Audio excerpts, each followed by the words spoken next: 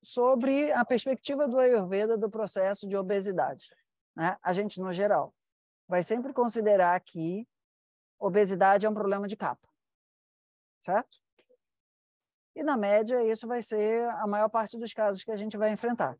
Mas, às vezes, tem pessoas que têm um problema principalmente de vata e engordam bastante. Ok? Então, a noção clássica do processo de uh, obesidade do Ayurveda vai envolver o componente kapha e o componente vata. Como que isso vai funcionar? Na medida em que a pessoa ganhou uma quantidade de peso excessiva, ela não está gordinha. A gente está falando de obesidade, ok? Vai gerar dentro do sistema digestivo da pessoa um vata louco que não tem a ver com o processo de demanda de comida dentro da célula.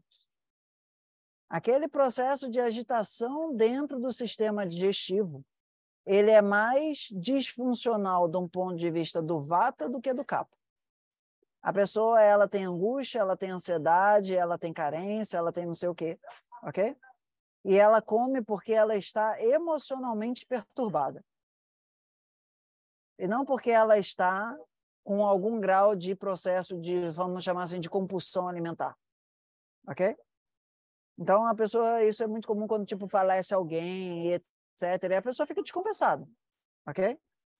Então, dentro desse processo, que quando a gente tem pessoas obesas, a gente vai precisar ter esse cuidado, é nunca cuidar do capa amassando ou pressionando o vata demais, porque a pessoa não vai ter cabeça para lidar com aquele processo de emagrecimento.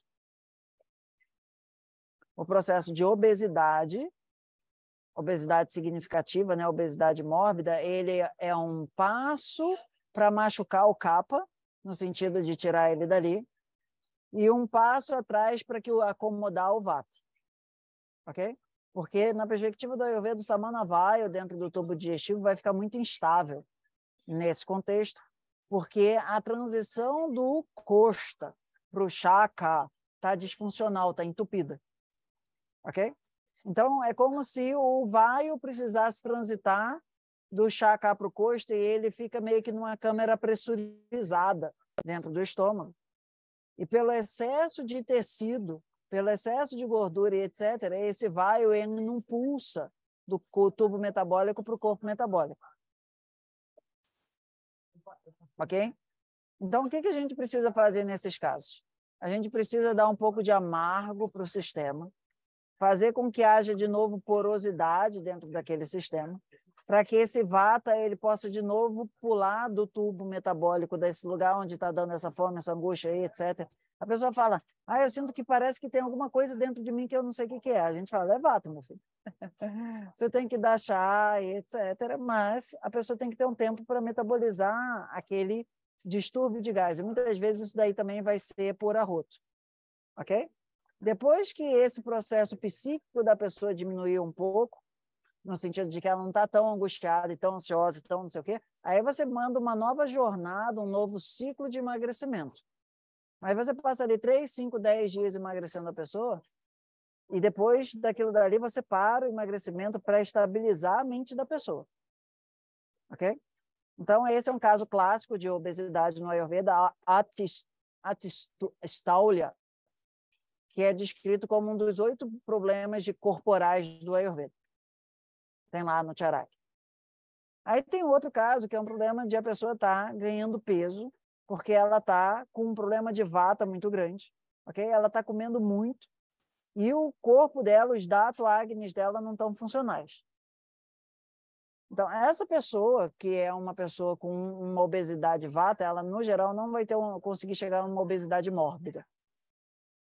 A obesidade mórbida é um sucesso capa, no sentido de que o vata ele vai ter uma obesidade meio que daquelas perigosas, do tipo a gordura ficar muito acumulada numa parte só do corpo, ok?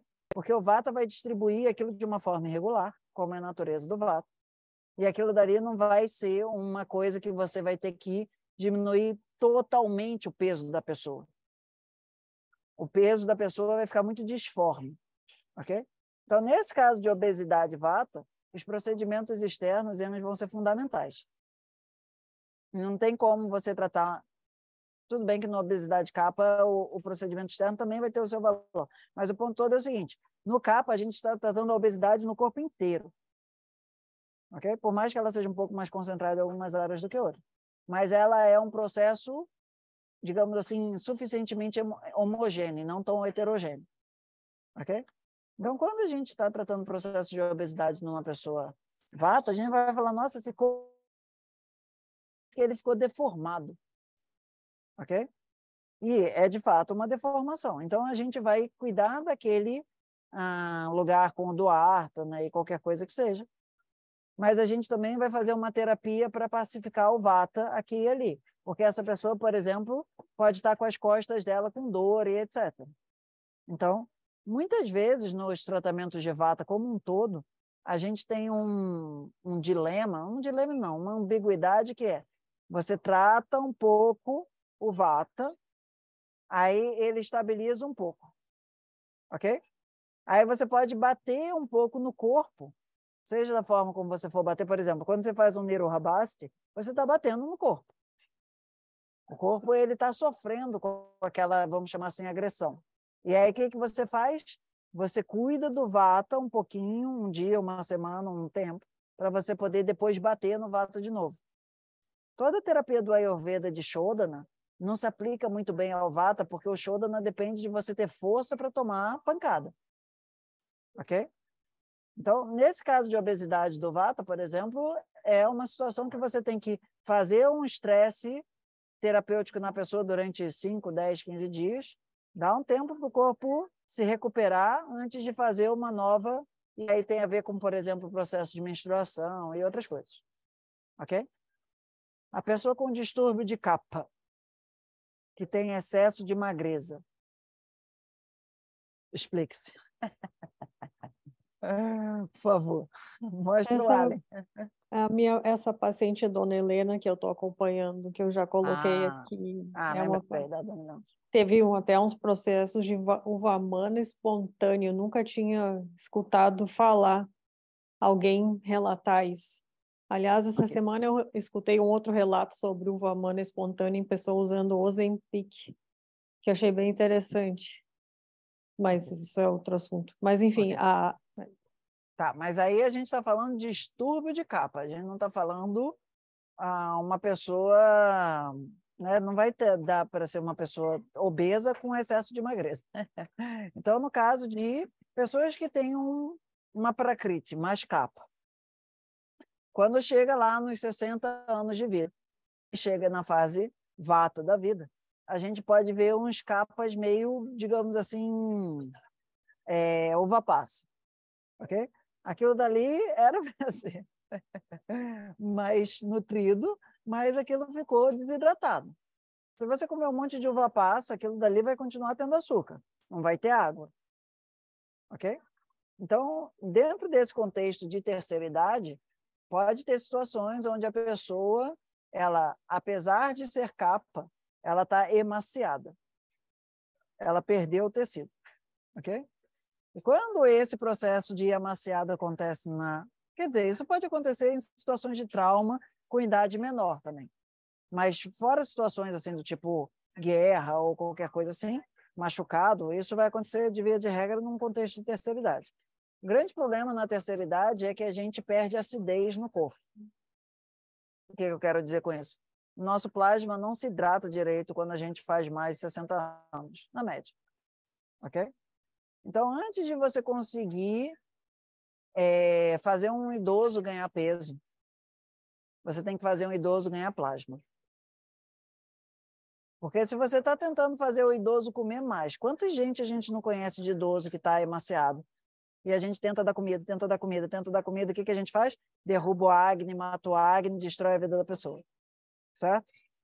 Então, o processo de fazer o ganho de peso, seja de uma pessoa capa nessa situação, ou seja de uma pita ou de uma vata, a gente, para restaurar o peso da pessoa, antes a gente precisa restaurar o plasma.